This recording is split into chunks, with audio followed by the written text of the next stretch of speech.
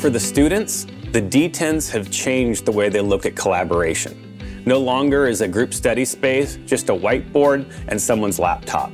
No longer are we stuck with markers on a whiteboard that have to be cleaned every day. It's an interactive experience now.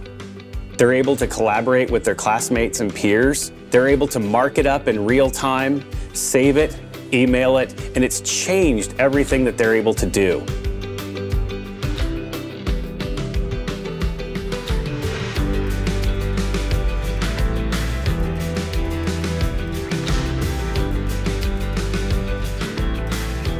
we use the DTEN line from the 75 inches, the 55 inches, the MEs, pretty much everything that's made uh, in order to complement our classroom experience and also our conference rooms and our personal meeting spaces across the campus.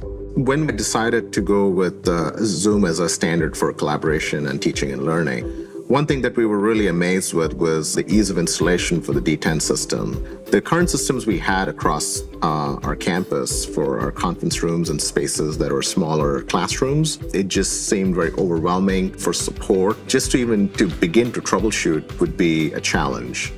A lot of that was eliminated because of the ease of use of the DTEN system.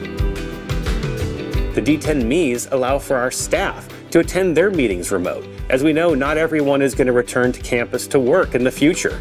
And the ME allows us to be able to have the same Zoom room experience, but on a personal level.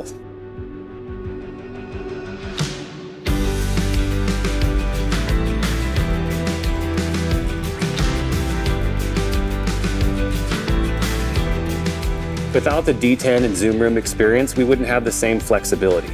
Now, anyone can meet and learn at any time from anywhere. We found that this becomes a central point for everybody to collaborate with one another in a seamless way.